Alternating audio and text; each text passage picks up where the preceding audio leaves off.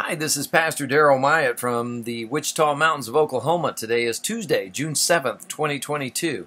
This channel is all about world news, Bible prophecy, end time events, and the return of our Lord and Savior Jesus Christ. Uh, please forgive me, guys. It's currently like 10:30 at night. My days tend to be quite long. Remodeling this cafe, I think things are about to get quicker because we've been given the opportunity to bring in some more people to help us because currently it's pretty much just me and my wife doing it, and it takes a little while when you have so many things to do, but we're getting there. We're looking at probably five weeks to be open, hopefully. We'll see. Anyway, let's have a look at a few things that really matter. It seems Iran is so much in the news these days, and I, I keep bringing it up and mentioning it because they are a very prominent player in end time ministries. Persia, which is modern day Iran, leads a world army against Israel. Ezekiel 38 and 39 tell us all about it. We're watching so many things line up that show us that this could happen very soon. Very soon. Um, I know I've been reporting on things like this for some 10, 12 years. But, you know, the Bible says a thousand years with the Lord's like a day, so it's coming in His timing. Out of World Israel News, Israeli jets strike Damascus. Syria confronts hostile missiles, according to report. Damascus in Syria. Remember Paul, who was Saul at the time, was on the road to Damascus when this bright light shone all around, it was Christ appearing to him, saying, Saul, why are you persecuting me? And he was blinded for three days, and his name was changed to the Apostle Paul. And he has told more people about Christ than probably anyone on the planet. Wrote half the New Testament, pretty much. Damascus will be destroyed. Isaiah 17:1 prophesies this. We're seeing steps that seem to indicate it could happen any day now. I'm kind of thinking it'll probably be Israel that causes this prophecy to come to pass because Iran will attempt to uh, build some kind of stronghold there and fortify themselves there, and Israel will say, No, you don't, and they'll wipe them out and they'll strike Damascus so hard that it ceases to exist as a city, like Isaiah 17:1 tells us. So many things we're watching today that the Bible prophesies about. It's to me, it's uh,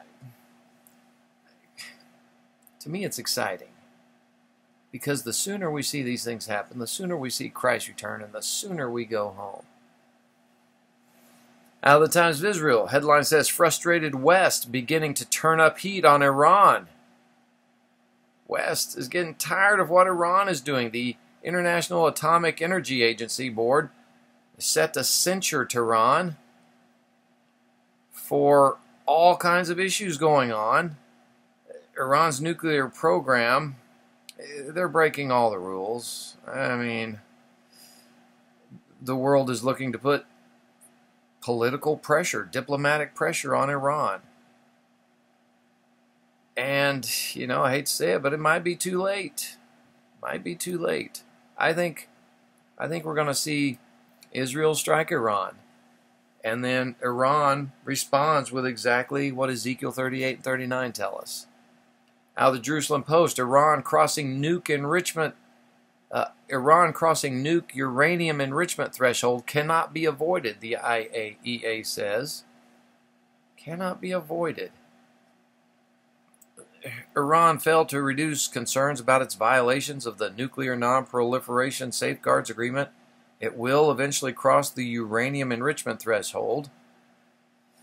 Yet, no one seems to be doing anything about it. Which just kind of boggles the mind to me. It's like, oh yeah, let's just let them get away with this. In other news, out of the Daily Wire, headline says Al Qaeda now has a safe haven in Afghanistan under the Taliban, operating with freedom of action, according to a UN report just another instance where we can say, thanks, Joe, you did that. because his horrible pull out of Afghanistan, which was a disaster, resulted in the deaths of military of numerous U.S. military personnel, gave thousands upon thousands of weapons to the enemy. You know what? I have a hard time somebody preaching gun control to me when he gave some 400,000 guns to the enemy, to known terrorist groups. I'm sorry, Joe. You're not qualified to preach to me about gun control when you're so reckless and moronic with your decision to leave hundreds of thousands of guns in the hands of our known enemies. Bye bye. Just saying. Um, once again, D Day came and went without a mention from the president or from Joe Biden. Last year, Joe Biden failed to mention D Day. You know, D Day. It was the early morning of June 7th in Normandy, France, honoring those who gave their lives on those beaches of Normandy that we might have freedom freedom of speech, freedom of religion, the right to bear arms, and all these other freedoms that these left wing losers are so desperately trying to take away from us. Out of Fox News, headline says Biden blasted for continuing to shift blame, refusing to take responsibility for crisis. Let's see, gas has more than tripled. Joe, day one, closing down Keystone Pipeline. What'd you think would happen? You know, Joe closed closes down a baby formula production plant, and suddenly we have no baby formula. Joe, what'd you think would happen? You know, you really can't mess up this badly unless you're trying to do it on purpose. And I can't help but think that these left-wing losers, the elitists, they're they're so pushing for the one world government. They're willing to throw America under the bus for it. That's why they were so seethingly mad with Trump promoting America. Oh, that nationalism's going to get in the way of the one world government. I mean, granted, the one world government is coming. There's nothing we can do to stop it. But it is not a problem for us to be looking to support America before supporting the world.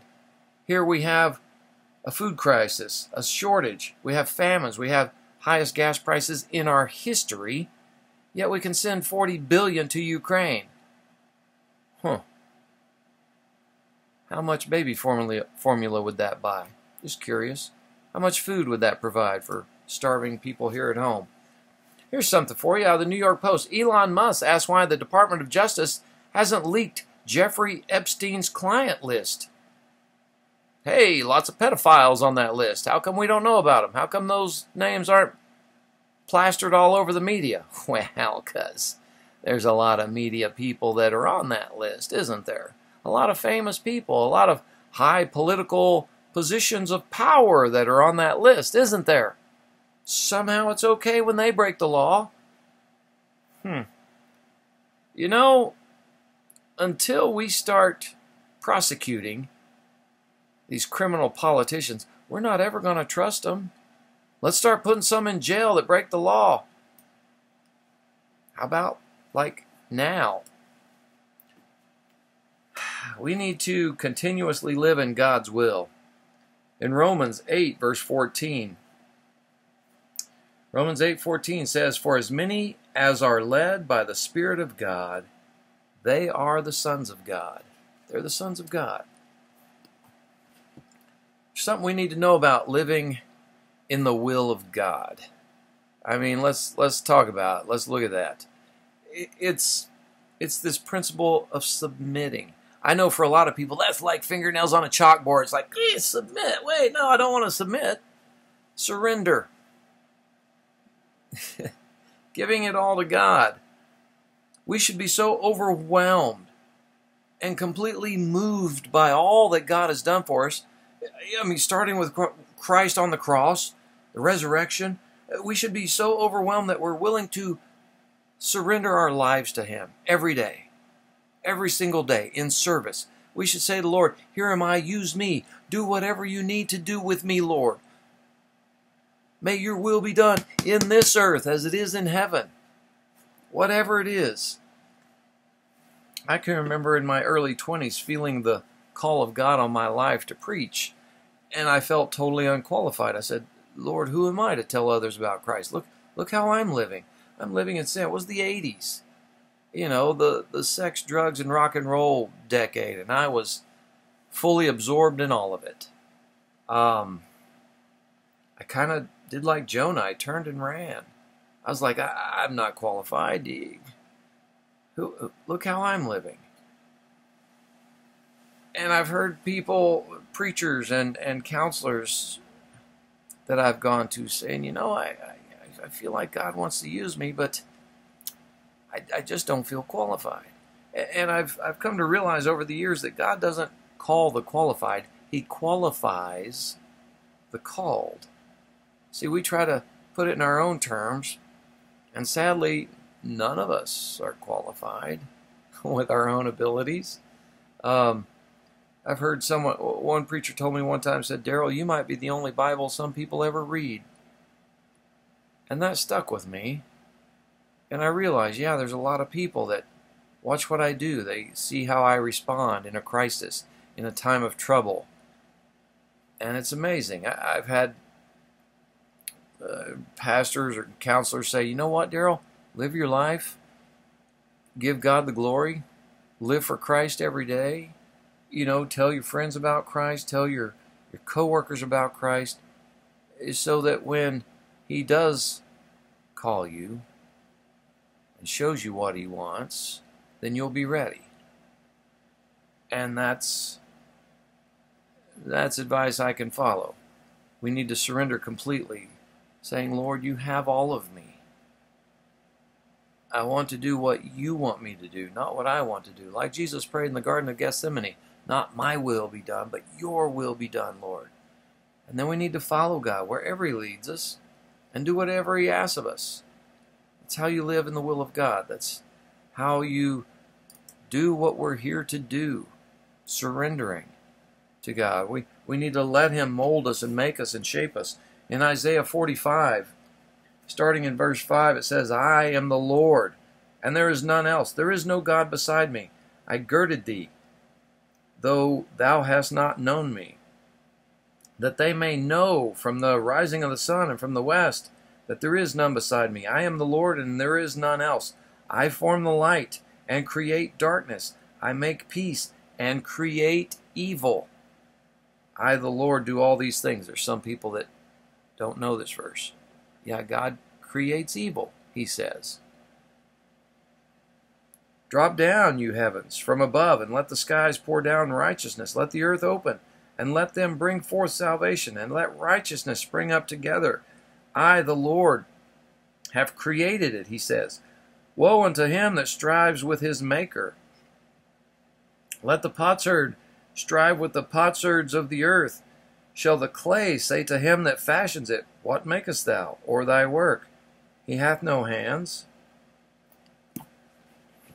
There's all kinds of scriptures throughout the Bible that uh, talk about God being the potter and us being the clay. You know, He's molding us and making us and shaping us more and more into the image of His Son, Jesus. It's the Creator's right to transform us and shape us, His children's lives, as He sees fit and he's conforming us to the image of his son romans 8.29 he's he's helping us to not conform to the world or give in to our former lusts romans 12 verse 2 and 1 peter 1.14 he's shaping us. Eh, the problem comes when we don't like this molding process. You know then we argue with the potter. We complain about the troubles the trials the difficulties the afflictions that sometimes results while he's shaping us you know, Isaiah 45 9 says, Will the clay say to the potter, Hey, what are you doing? You know, our part as the clay is to remain pliable and to submit to God's purposes. And not let parts of our life toughen up and resist His attempts to shape us and be like, well, God, I've given you all these other parts of my life, but that part you need to stay out of. We need to surrender it all. Surrender all. God will work to remove those hard lumps so He can form us into the vessels that are useful and pleasing to Him for His purposes, not for our purposes. We need to accept any changes that God shapes and makes into our lives. We know that His plan is best, His plan is perfect, and we can trust what He's going to mold us and make us and shape us into. The best place you can possibly be is in the potter's hands. So submit yourself to the Lord and let Him make you into what He created you to be. Because we are His servants. And there is a thing called servant power. I mean, in Mark 4.41, says, And they feared exceedingly and said one to another, What manner of man is this, that even the wind and the sea obey him? Even the wind and the sea obey Jesus. You know, when God created this physical world and everything in it, He gave mankind authority to rule over and subdue His creation. Even though God still owned everything in the universe and all that was in it, He gave control of the earth to man. It's quite a responsibility. But when man sinned, he started to use this power against God's wishes. You know, God didn't ordain all the terrible things that have happened throughout history, and, and yet he, he did not um, take back man's right to dominate the earth. Instead, God became a man and took back that authority by himself to himself by conquest. After Jesus' resurrection in Matthew 20, 28 18, he said, All power is given unto me in heaven and earth.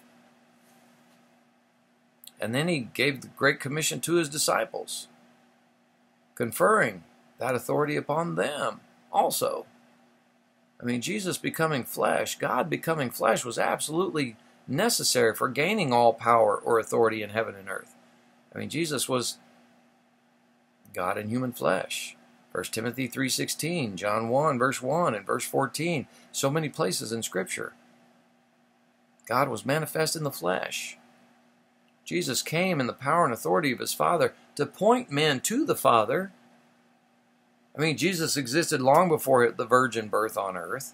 In the beginning, God created them in his image. He said, Let us make man in our image. Who's the us? Who's the plural? Father, Son, Holy Ghost. These three have always been, always will be. Christ was there in the beginning. He's been there from the beginning. Um, his his appearance here on earth was in the form of God, and he was equal with God. Yet he humbled himself and he became a servant while he was here on earth. He didn't promote himself, but he came to give himself as the only way to God the Father. John 14, 6, my favorite verse in all of Scripture.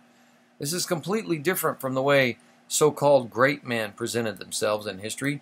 The Roman Caesar of Jesus' day proclaimed that he was God and he demanded people to worship him. I've said it a thousand times. If there's anyone claiming to be God and saying, Worship me, and you're still standing on your feet, you know that man's a liar because you cannot stand in the presence of the true God. You will fall to your knees in his presence. Um, lesser leaders throughout history ruled by exalting themselves over the people they govern.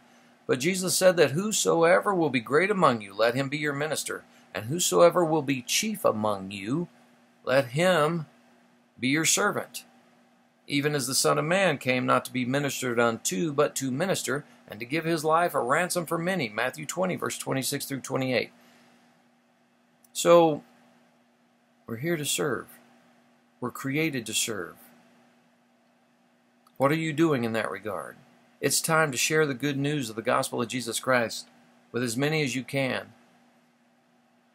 until the day you stand before him. And you're going to be just like him, John tells us in 1 John 3, verse 2. So until then, we have a lot of work to do.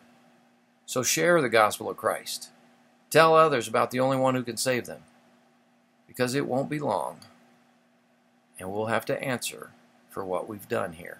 I love you guys. God bless you. Good Lord willing. I'll see you again tomorrow.